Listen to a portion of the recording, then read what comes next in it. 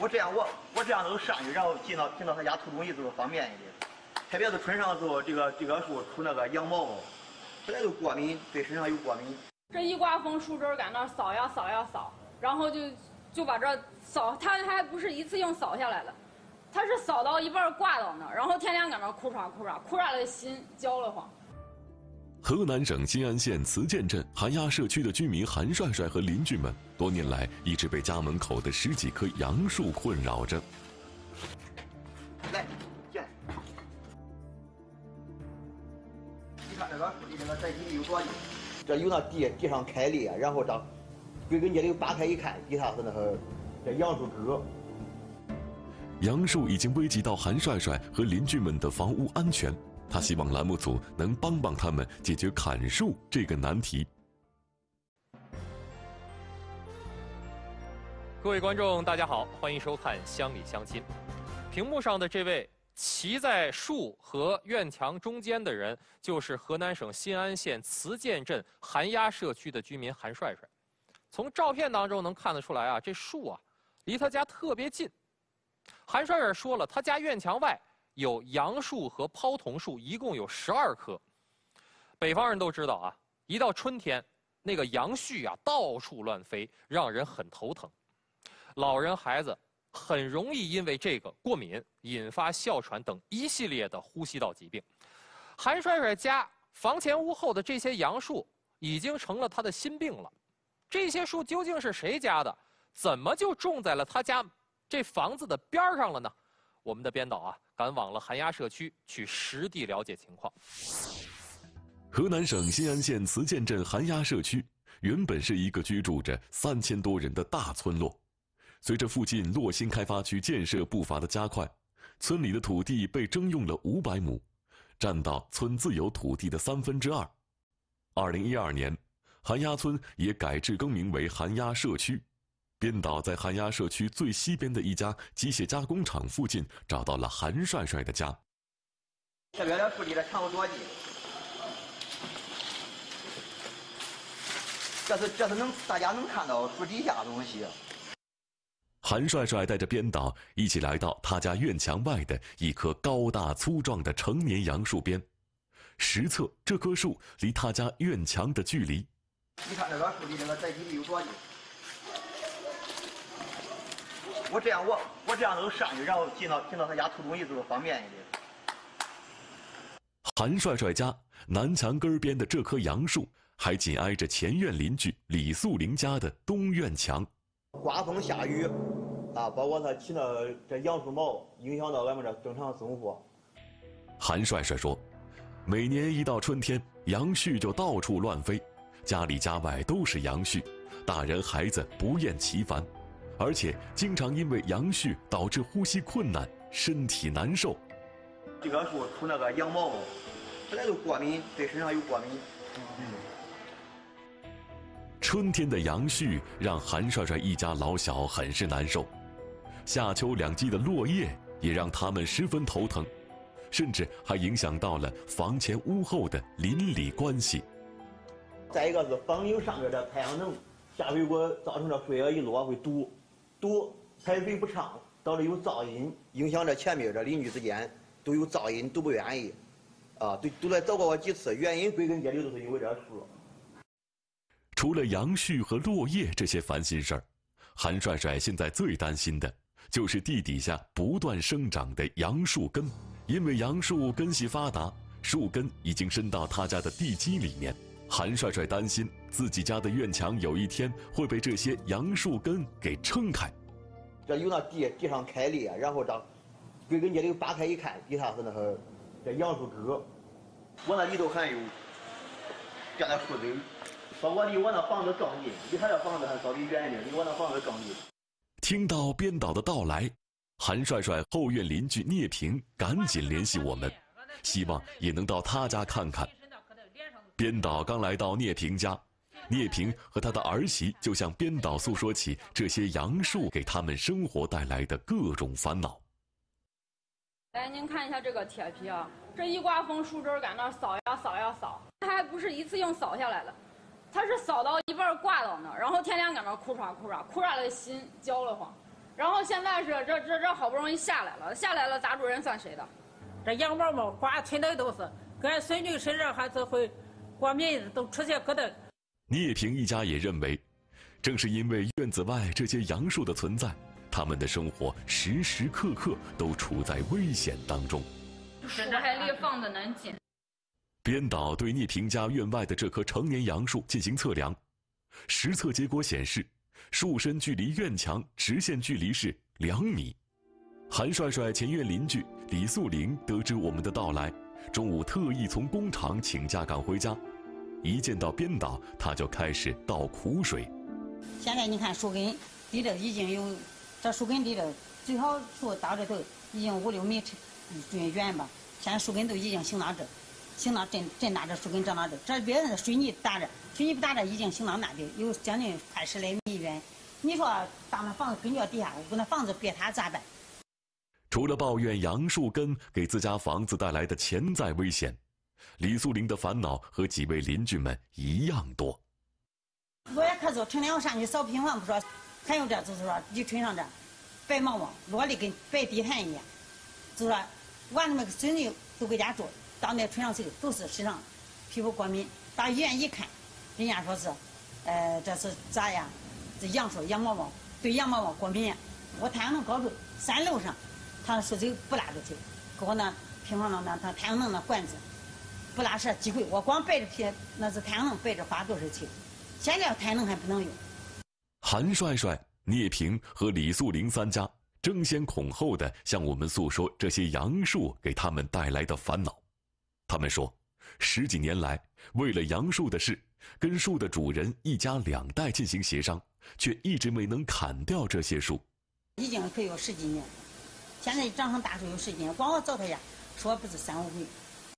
原来，这些树是十几年前海崖村村民党恩昭种在自己家的承包土地上的，当初是用作防护林。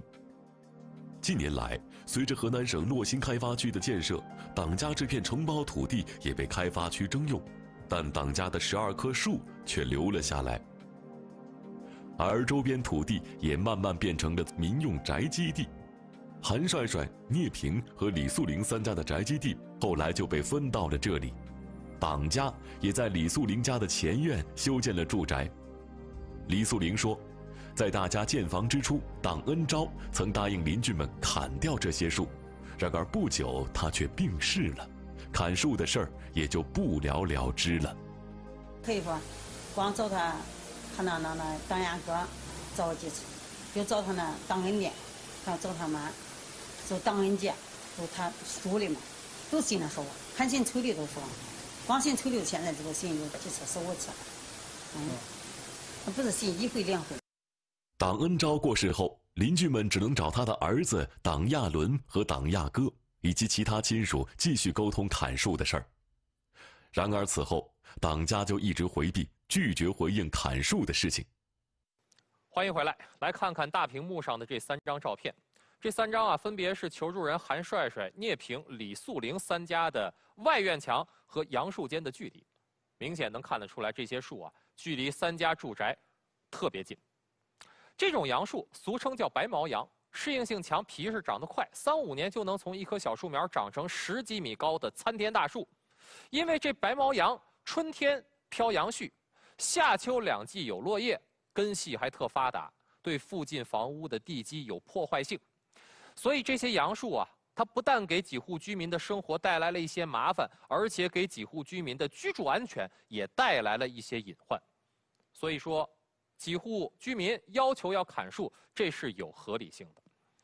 那话说，当初树的主人已经答应砍树了，为什么他的儿子们却拒绝正面的回应砍树的这事儿呢？我们的编导决定去找党家老二党亚哥一探其中的原委。很快，编导就在党亚哥家门前见到了他。现在就是呃，左邻右舍现在呃给的信息就是说，这树影响到他的采光呀，或比如说落叶这一块影响到他。整个清洁清洁难度呀，或者是养絮这一块，他们都认为这个树给他们带来的跟厄运那种性质一样。但是我觉得这个树，呃，一直在我们地的边缘，跟他们没有什么可沟沟通，没有什么可交流了。党亚哥说，一九九五年，父亲带着他和哥哥党亚伦一起种下这些杨树和桐树。二十多年来，他亲眼目睹一棵棵小树苗长成了参天大树，这些树伴随他一起长大，他对这些树充满了感情。这个树从小的从小树苗一点一点长到现在这个，已已已经是亭亭，好比说一样像一个亭亭玉立的大姑娘一样站在这地方。一棵树啊，呃，风风雨雨啊，什么春夏秋冬都能见证到。尽管自己家的地被征用。但是留下的这十几棵树，对他来说非常珍贵。现在这个就就留下来一排子树，左邻右舍有的有些有些就是说，呃，地也没了，是不是？然后呃，这个树应该锯掉。我不愿意把这一点点相恋全部都磨灭掉。问及党亚哥父亲曾经答应砍树一事，党亚哥对此做了回应。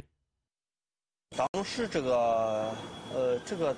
这个时间应该说是零几年吧。当时我我妈的话，我我妈是说了，就是说要给一定的补偿，就一直没没没没做妥，没做这个沟通，进一步沟通，没有进一步解决这个事情。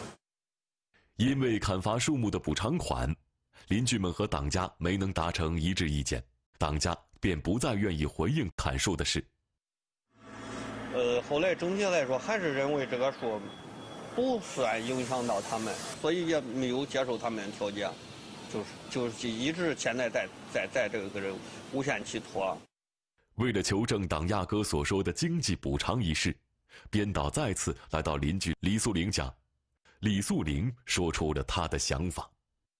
他这已经是，呃，征征收了，开发局已经征收了，钱也赔他了，对不对？李素玲认为，这片土地既然当年被开发区征用，那么地上的这些树也应该同时被征收了。居民们现在要求砍树，就不应该再支付党家额外的费用。正因为双方对经济补偿的事谈不拢，所以砍树的事也就一直无法落实解决。原本和睦相处的邻里之间，也变得不再像以前那么亲近。见面的话。就不再很寒暄那种，好也也不打招呼了，也就是说直接一眼都扫过去了，跟不说对方就不存在啊，一直就是没话可谈。只要是他提到提到出树这一块，我们就不能继续下去，都没有语言可沟沟通交流的。当亚哥说，既然邻居们对砍树补偿款一事缺乏诚意，砍树的事自然也就没得商量。他对邻里关系的恶化并不在意。我现在一直还是。抱着这把树树地本身还存在着，树一定要存在下去，就是这。而李素玲等三家邻居为了砍树的事，只能多次找寒鸦社区居委会投诉。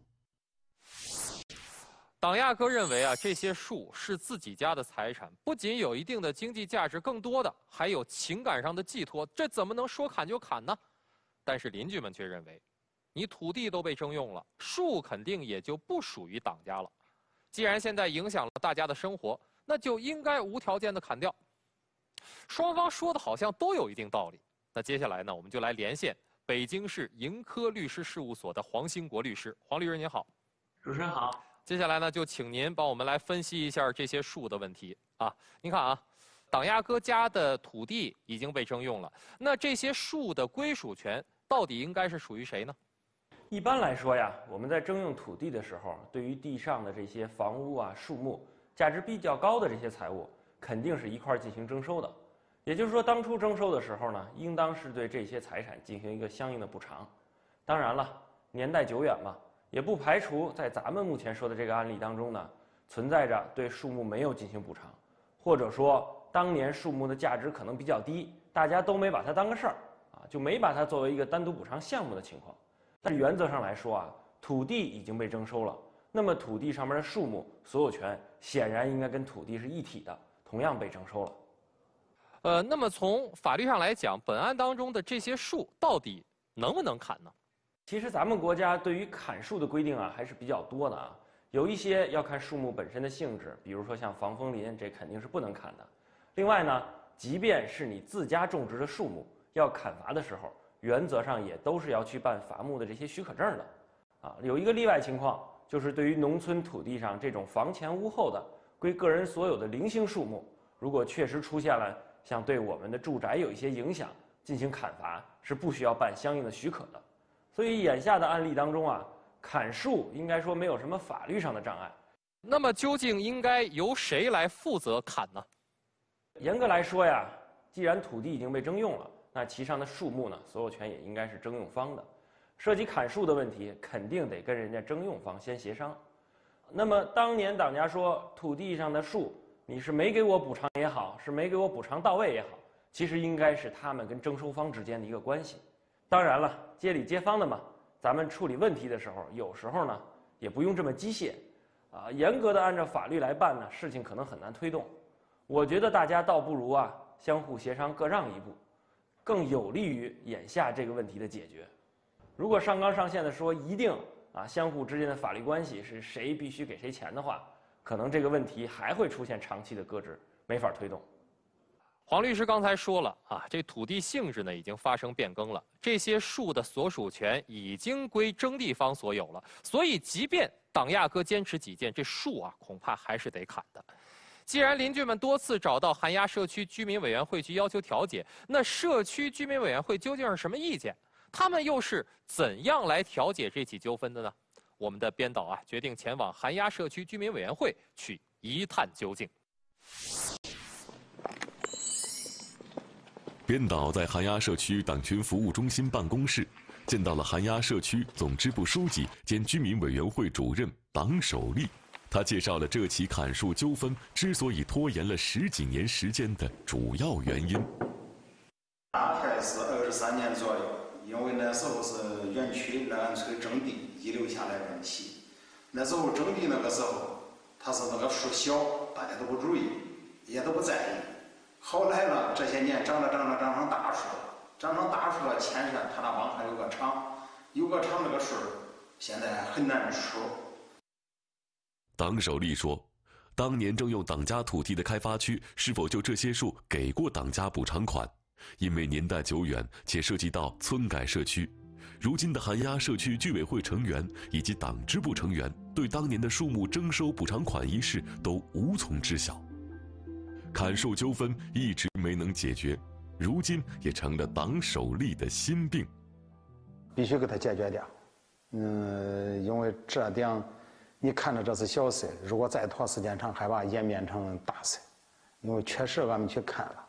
确实也影响了人家那几家房子的基础，专门成立有这民调委员会，通过民调委员会来，给他几家叫到一块，呃，推心置腹，逐步逐步把这原因暴露出来，必须把这他们的真实想法问出来，咱才能逐步给这事消化掉。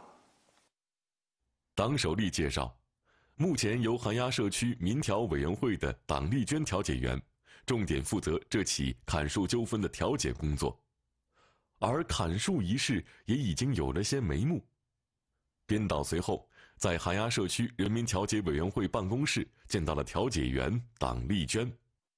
这件案例呢，就是我也查资料，我也看法律，然后我自己也思考思考，思想了思想，我怎样去解决？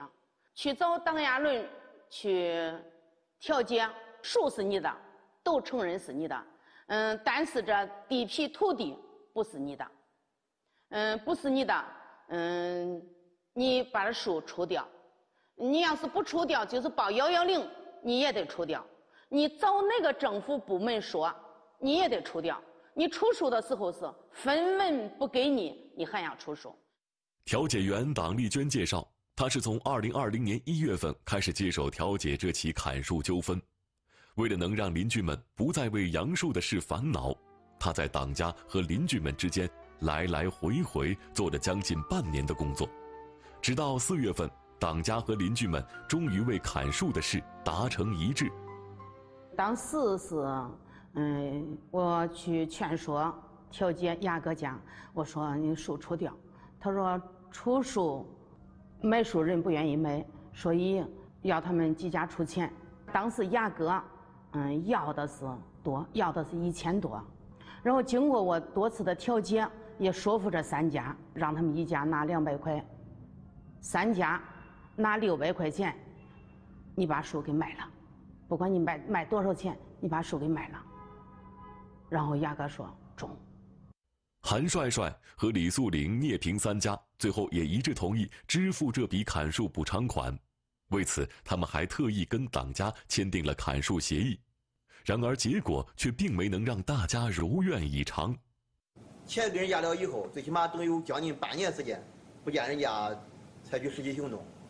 邻居们付了钱以后，这些杨树却还是一直好好的生长在他们家的院墙边上。它没有出树的原因，也就是树木也太大，也不好出，在那个小走廊里边，车进不去，树木太大，搬运不出来，又牵涉着这钱的问题。调解员党丽娟解释说，杨树的市场价格一直在下跌，为此党家认为邻居们支付的砍树补偿款还是太少。而邻居们却不想再继续掏钱，党家没有接收邻居们支付的费用，他们之间签订的砍树协议自然也就作废，这笔钱也一直由民调委员会保管着。因为现在树太便宜，可以说买树的人就是嗯不掏钱，嗯都不想去出这树，就是不给我钱我都不不去买这树，这树太难出啊。牵扯出这种情况，所以，嗯，这树树木纠纷一直到现在没有解决。编导来到韩鸭社区已经是二零二零年十一月份，从签订协议到现在已经过去了半年多的时间，砍树的事迟迟得不到落实。韩鸭社区总支部书记党守立也非常着急，他找到社区党支部委员党占民。两个人讨论接下来的具体实施方案。叫叫他们那些人都出场，出场了下头下头去。这十几年来问题都解决了，不能因为这里这都成天光去讨这心没搞。这这这这事都没事，这这事叫我我去，我下去再说这事，这个再不。社区总支部书记党守立和委员党占民商量决定。召集党亚哥、韩帅帅、李素玲和聂平四家，第二天集体在社区委员会服务大厅见面，由社区总支部副书记党长喜出面，再次当面协商调解。最后咱必须得把他那结果，这结果是最后必须结结都得按上旨意啊，懂不懂？懂。然而第二天傍晚，在海鸭社区居委会的服务大厅里。前来参加会议的当事人却只有党亚哥和聂平两个人。这一块有有些事情也有也有好多好多因素，也不能说呃树影响到房子，是不是房子也要影响到树，对不对？我个人认为这就是说，那那树也不是栽到他家地上，或者栽到栽到那个，那属于是集体上的地。党亚哥当即亮明态度，他表示，当年邻居们建房时。这些树离他们的房子并不算太近，但是后来随着邻居们的房子越盖越高，院子越扩越大，这几棵树现在都被邻居们的院墙给夹在了中间。他指出，既然邻居们私自占地一事一直没人管，他也要坚决保住自家的这些树。抓到门前门口抓，说那个什么，也也签了啊，也都说好啊，还有啥？还有啥说？聂平则认为，双方既然之前已经签订了协议，党家就应该立刻着手砍树，而不是找别的借口和理由继续拖延。双方各说各的理，协商调解会一时陷入僵局。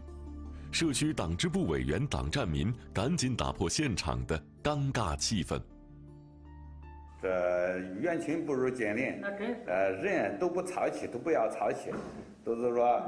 双方和和睦睦，说说把这事处理了。还有一个问题就是，呃，李树林家人他那个厕所嘛，嗯，他拆除给我哥那看好是房子后边，然后卧室后边他弄拆除，嗯。真正这厕所不都是水冲啊？嗯，你弄就形同虚设那种，都没有一一个实际意义。但是一这个他那厕所还用着没有？党亚哥很快转移话题，说起邻居李素林家盖的厕所对他哥党亚伦家有影响这件事，社区党支部委员党占民不得不回答党亚哥提出的问题。他那厕所如果是空厕所，不许用，就是说他可以说说让他厕所，因为啥？现在你知道咱这村里头不允许外头建厕所，不允许外头建立建厕所，不能建。随着党亚哥新问题的提出，原本讨论砍树的协商调解会变成了李素玲家厕所扰民的讨论会。在场的聂平对此也很是无奈。将近一个小时之后，社区总支部副书记党长喜终于开口，给这次会议明确了方向。有有协商不到的地方，我我可以，我可能给你们出头，好吧？啊，一直达到你们协商这个满意为止，啊，双方达到满意，好吧？俺那三楼上他会会漏着，娃子们挤着十多方定位，都是那上这儿，杨树出了才能十多，人家不不出那点挂号去水都不会十多，走到那下水道光吊堵塞，一堵塞它水不往这底下流，它都顺着那墙都引到那。房子里头。聂平再次强调，杨树给自己家人带来的各种危害，希望党亚哥能多考虑下邻居们的感受，尽快砍树。你如果要是出了碍事了，出了也可以，因为啥？离房子比较近，都觉着不不得劲。嗯嗯嗯嗯，那就这个。好。在两位干部的轮番劝说下，党亚哥口头表示同意砍树，却没有明确具体的砍树时间。调解会持续了两个多小时，最后唯一确定下来的，继续由社区民调委员会来落实砍树协议的事。第二天一早，调解员党丽娟来到办公室，和社区民调主任党洪涛一起商讨接下来的工作计划。两个人商量决定，党丽娟先去拜访社区里的老人党跃进，向他了解当年党家土地被征收时的补偿款等细节情况。也搁家子。啊，来一句啊。坐坐坐。啊，坐。是啥？我来问问你，就是牵扯着亚哥家，他那他父亲原来种了十几棵树，影响住这居民生活。你知道这事不知道？知道吗？原来我很清楚。六十二岁的党跃进是原韩家村党小组组长，也是如今社区里的长辈。这里的大事小情，他都一清二楚。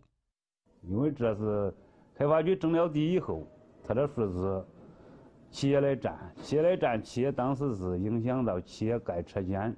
通过我跟亚哥他们吧调解过，调解过那时候是承诺再赔他的钱，叫他我这树出了。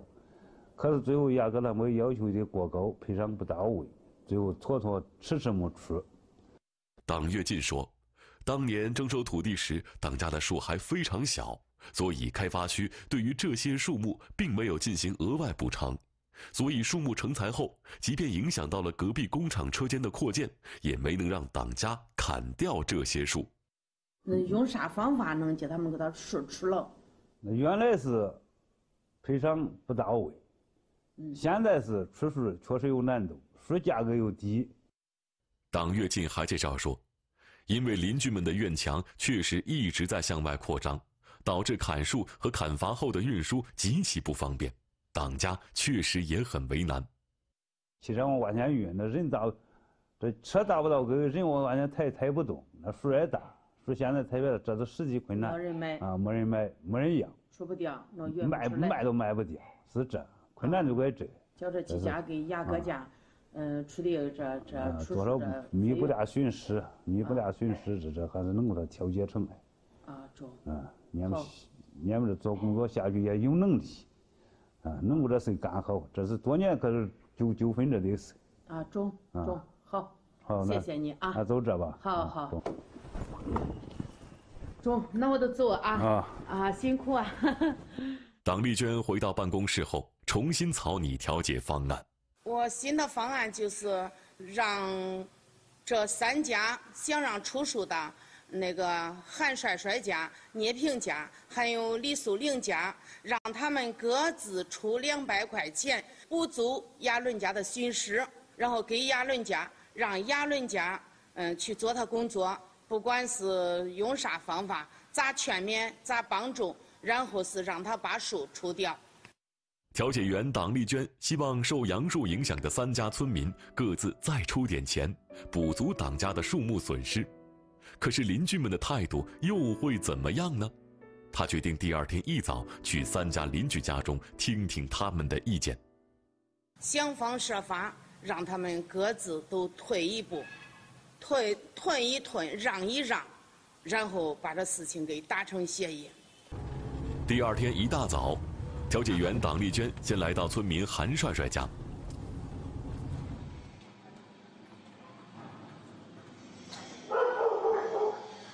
帅帅，帅帅，啊，搁家呢？搁家。了解了解，你家这民事纠纷。还没等调解员说话，韩帅帅的媳妇儿就开始抱怨起来。合同签签写用那手续签了，你不肯管，你搁这长孩子这么长时间。要是俺们不说了，这次俺来下来采访说不说了，这不走过了你孩子这钱给俺掏了，我看这是钱买东西，迟迟的都变成死，都多长时间不肯管，还是搁这说着。而韩帅帅直接要求砍树的事还是按照原来签订的协议执行。你给我时间，不然你给我算着三天两天。我立马进去找，三天以后刮出皮。如果再引起民事纠纷，与我无关。他说死都死得着，他说不管弄啥，告我弄啥，说我刮他树皮。记住，这树你说哪就出了，我咋出了啊？不生气，嗯，这十多年都是因为这这因为这树这问题，先不生气，出有啥事都有解决办法。我不是我我不生气，我就觉得调解。只要牵着这些劲，你道那我我心大了那。新方案看来很难落实，调解员党丽娟。本来计划走访韩帅帅和李素玲、聂平三家，然而听完韩帅帅夫妻的抱怨后，他改变了主意。在离开韩帅帅的家后，调解员在路上遇到了一位大姐，这位大姐也向党丽娟倒起了苦水。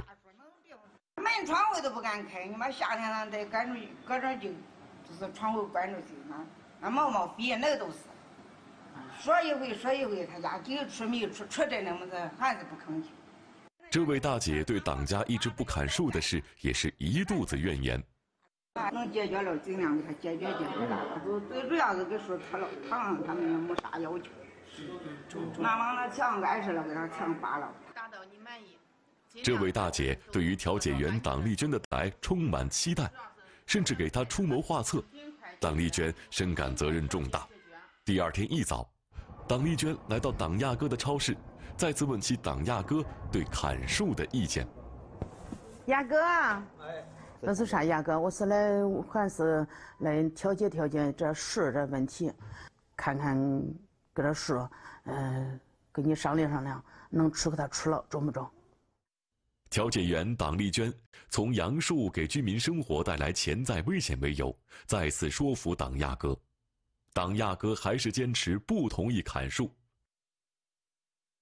这个这个问题反正是时间比较长，我一时半会我确定不下来。不是说有有也牵扯到是我们也是弟兄好几个，对，有些事情我也需要一个简单一个沟通。他们三家我也会去调解，去也会说服他们，最后你们都邻里邻居门前门后。都都好和蔼，对，是不是？不不热那因为这树木一点的问题，这热四处摆怪也怪不好，是不是？对。嗯，以前你妈妈说，嗯，同意，嗯，给这树除掉，这是有啥原因？这是后来没有除完。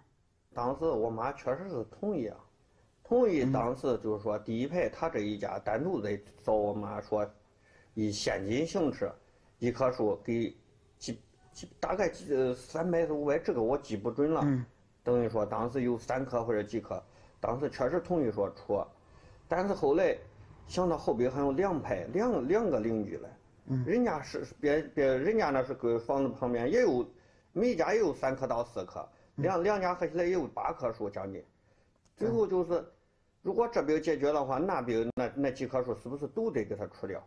也就是说，树是从小。到大都是说一丁一丁看着他起来，然后也也就是说在这一个权利上，就是说不不不愿意一定给他都一下子给他放弃掉，然后然后就是说既然嗯既然都解决不好，那就干脆就是说这一次也也没有同意，没有再就是说去执行这个给树砍掉这个，舍不得出。啊，对对对，还是舍不得这个。党亚哥说起当初母亲答应砍树，最后没有砍成的主要理由。调解员党丽娟则推心置腹地跟党亚哥沟通，从法律的角度分析如今杨树存在的问题。他指出，万一树枝掉落砸伤了邻居，党家得不偿失。他希望最好按照之前几家签的协议来执行，尽快落实砍树事宜。事情要是说开的话，反正咱也能退一步。就是我今天在这，我好比说说一句痛快话，好比说，就是说真的，我就当当一次家给这树，就是说合理给他，呃，给他好比说锯掉或者是什么样，就是说一个退，我们有个退后余地也可以，只是说他双方都能应该心平气和坐下来，不要一，就是说你说你有理那种，你感觉好对对吧？咱就是这种实在在的办这个事。令调解员党丽娟没想到的是，这一次党亚哥很痛快地答应砍树，只是他认为邻居们理所当然的态度让他很不舒服。他之所以迟迟不砍树，还有一个原因，就是为了赌一口气。我去找他三家，再跟他们调解调解，谈谈这件事情，中不中？行，好好，嗯，辛苦你啊啊啊啊，中中。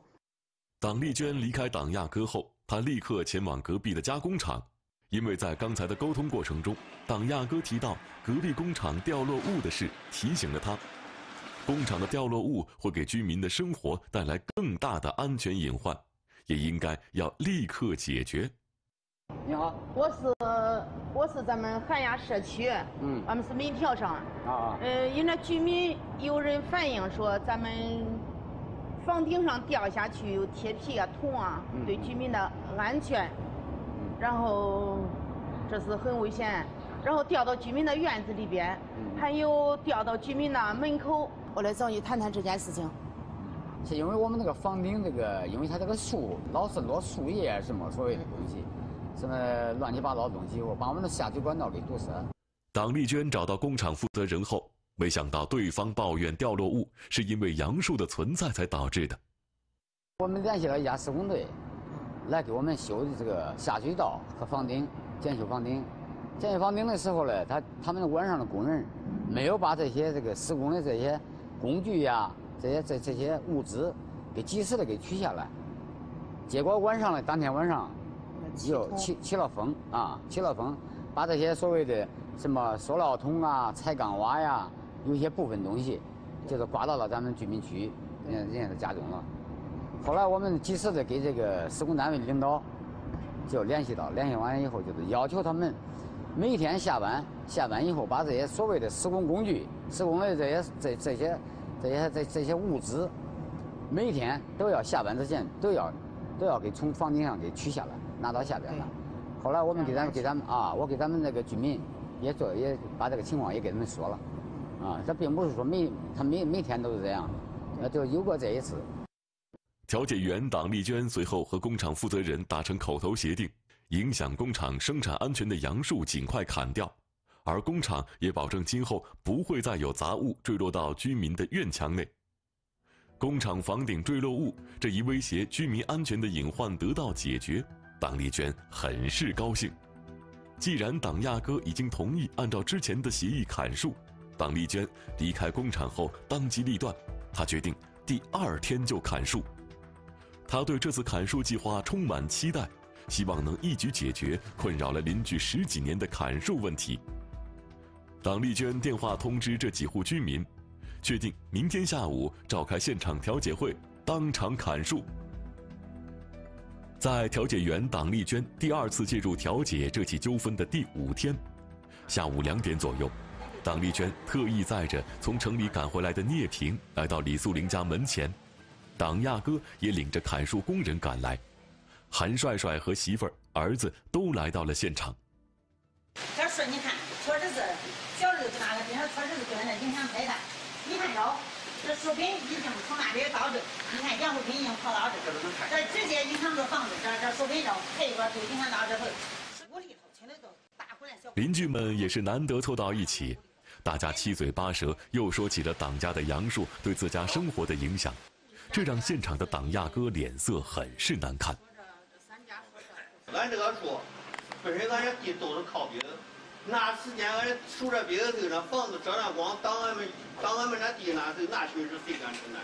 俺现在树长大，现在反而说树影响到你们，那时候谁是谁承担？那猪呀、狗呀、鸡呀都往地里跑，反正菜都公共，那时候谁管？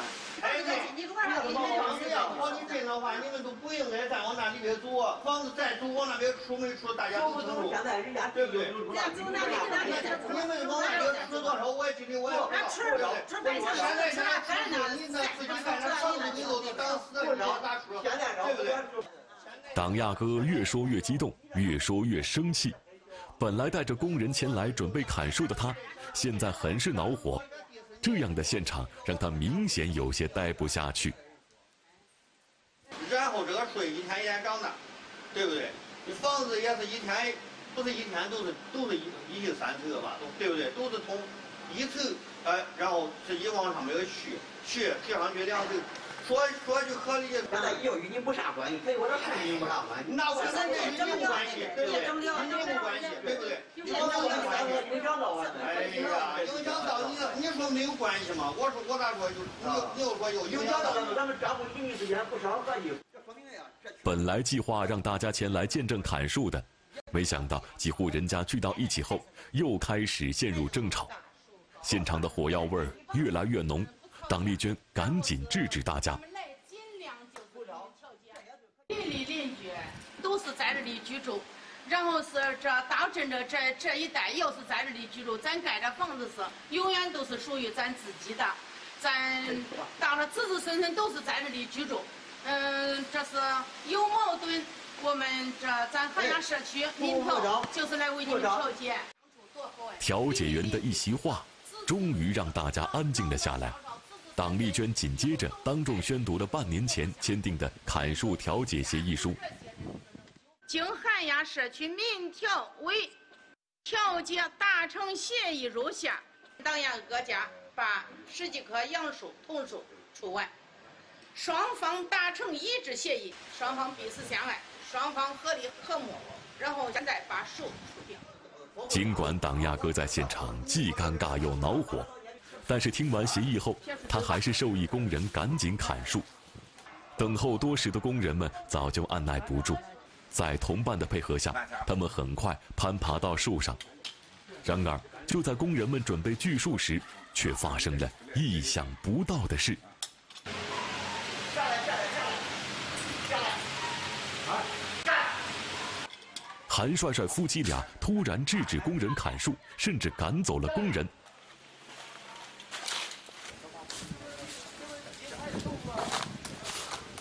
早一天晚一天是个问题，早早早你不知道中间早。原来是他们看到砍树工人没有大型工具，认为党亚哥是假装砍树糊弄他们。看见工人被撵走，党亚哥非常生气，他和韩帅帅又为砍树方式和价格的事吵了起来。你都一千块钱不中，咱好比说还可以再谈嘛，对不对？你不是说我非得要咋着咋的？你现在这啥都不你一天他八百多不放树，不放树，总而言之说，事出了问题，总归解决是和和睦睦，对不对？不要因为这争着争着一朝一夕，有谁也不愿意去。这招我我就是现在说，今天是给你解决这事，你要再说那我我要咱不。党亚哥一气之下领着工人走了。留下现场的邻居们继续新一轮的抱怨。看到眼前的结果，调解员党丽娟也十分无奈。树没砍成，纠纷仍然在。调解员党丽娟也无奈地离开了现场。第二天一早，调解员党丽娟刚来到办公室，党亚哥就打来电话，说又来了一波砍树施工队，要党丽娟带他谈谈砍树价格。党丽娟高兴地答应下来。那想想办法，中不中？想办法，想办法。哎，你们成天干这，你们有有没呀？有办法呀？中不中？没想到这批工人来到现场看了树的位置后，却都纷纷摇头，不愿接这个活儿。这边这个风险太大，俺不敢吃。不是先吃籽？吃籽它那地方太窄，那也有地方那往那那往那往更往这往咱玻璃下来是一股头一股头把它截掉。啊，都下来了。原来工人们觉得树被院墙包住了，砍伐难度大，工钱低，干活不划算。因为那树木太大不好出，然后又在那小走廊里边不好运出来。失望的党丽娟突然想起前一天下午来现场的那一波工人，她决定先回办公室问清树木的市场价格，再和砍树队伍们协商。喂，啊，你好，你是树木公司是不是？啊，对对，嗯，就是我问一下，桐树和杨树的价格多少钱？啊。啊，最高多少钱？你能不能再给我高一点？调解员党丽娟表示，她可以自掏腰包，在原来谈定的价格上多加三百块钱，只要工人们第二天一早能来砍树就行。经过不断的联系和协商，这一次工人们终于愿意前来砍树。为啥我拿三百块钱？我不愿意让他们再纠纷、再争执。因为他们多次来找我的时候，非常的气愤，就是要报幺幺零，要打架，要你死我活的那种境况。嗯，所以，嗯，这给他们这，给他们这调解，给他们这解决，嗯，给他们这付出一点，这是也是我说理所应当的。又是一个清早，调解员党丽娟兴冲冲地赶往砍树现场。这一次，他要亲眼见证这烦恼了社区居民十几年的杨树被除掉的时刻。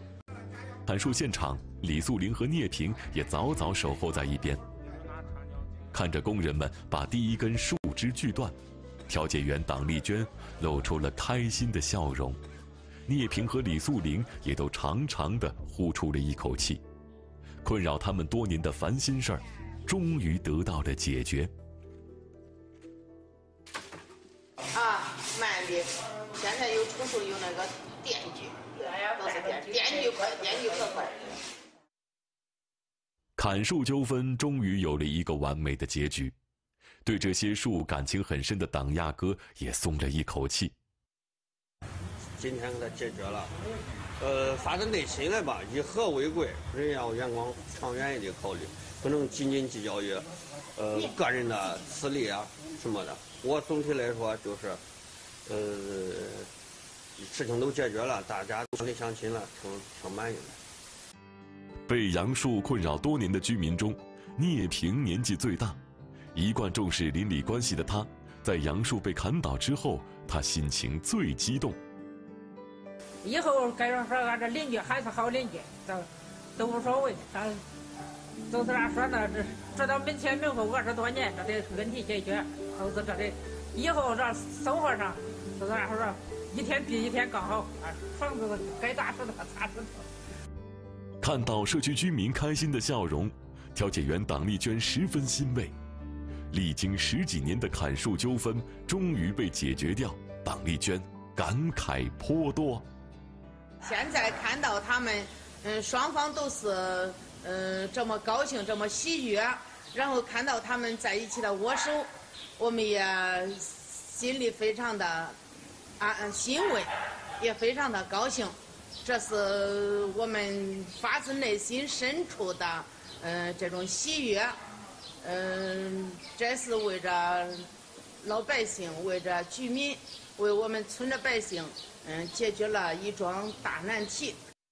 大家看，是不是隔着大屏幕，我们都能够感觉到邻居们的那种喜悦和激动呢？砍树纠纷呢！历时将近二十年，终于有了圆满的结局。就像党亚哥最后说的那样：“乡里乡亲以和为贵，没有什么解决不了的纠纷。”感谢收看本期节目，我们下期再见。